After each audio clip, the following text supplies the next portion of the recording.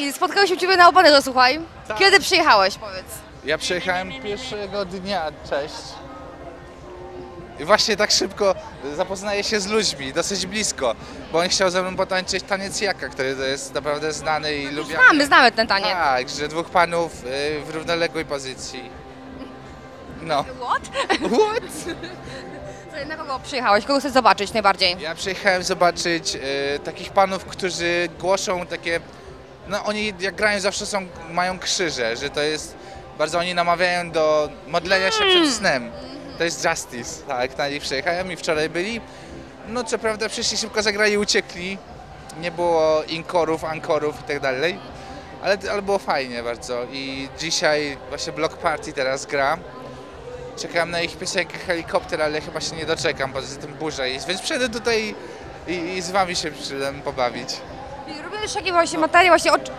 Ale jeszcze jest Franz Ferdinand. Coś jeszcze? Yy, tak, wszyscy ogólnie. Każdego dnia na main stage można jest super zabawa, można ze wszystkimi się poprzytulać, poskakać i robić pogo, więc warto. Powiedziałeś, że to jest twój pierwszy raz na Openerze. W ogóle jak, jak tam, jak się czujesz w tej atmosferze i tutaj na festiwalu? Bardzo fajnie. Szkoda, że nie ma Nirwany, ale to chyba dlatego, że będzie, przykro mi. tak, że Kurt Cobain zg- zginął Zabił się. na, na ten drugi świat. Tak. Słuchaj, nie wiem, czy zdajesz tego sprawę, ale w zeszłym, w następnym roku to prawdopodobnie będzie ostatni festiwal na, tutaj na Babich Dołach. I pytam właśnie o to, jak nie Babie Doły, nie tutaj, to gdzie może się odbyć taki festiwal, twoim zdaniem, w Polsce? Myślę, że mógłby się odbyć w Warszawie. E, Tam, gdzie jest tam za Strażą Miejską, jest dużo miejsca. E, Tam jest chyba miasteczko Cypel. Chciałam zapytać Ciebie teraz o Twoje plany, bo ja wiem, że Ty się teraz udzielasz e, przy koncertach Shimons. Powiedz, co tam robisz?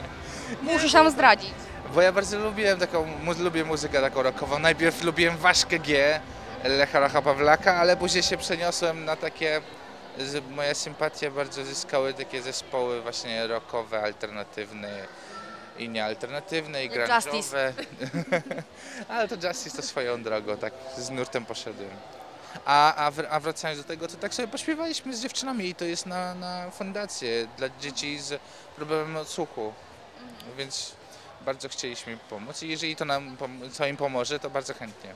Czy to oznacza, że po prostu następne Twoje kroki to będą w muzyce? Jeżeli w fundacjach i tak dalej, to oczywiście, ale to są takie dla frajdy po prostu zrobiłem, żeby, śpiewać i z dziewczynami, z którymi pracujemy, to sama przyjemność. Co jeszcze u Ciebie słychać, co porabiasz w ogóle, co się będzie działo u Ciebie? Ogólnie jadę na wakacje do Mongolii, pojadę sobie i Gdzie? odpocznę do Mongolii, do siebie. Mhm. I tam będę długo? sobie siedział, no tak z y, miesiąc, dwa. To prawdziwe wakacje. Tak, tylko trzeba znowu spinać tyłek, jak się przechodzi przez jezdnię.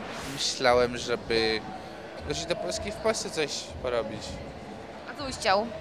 Co bym chciał? No taniec z gwiazdami, już wszystko było, wszystko było, Bill, wiesz.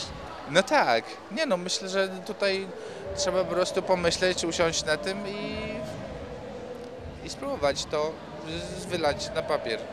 A powiedz mi, jak zareagować w ogóle na informację o tańcu z gwiazdami, że już nie będzie emitowane? Dla Ciebie to żal, czy nie żal? Smutno bardzo, bo no, wszyscy tancerze, z których się poznałem i oni są bardzo mili, sympatyczni i, i bardzo dobrzy. No niestety nie mogą teraz robić tego, co robili dłuższy czas i z tego większość, znaczy nie większość, niektórzy z nich tak naprawdę żyli.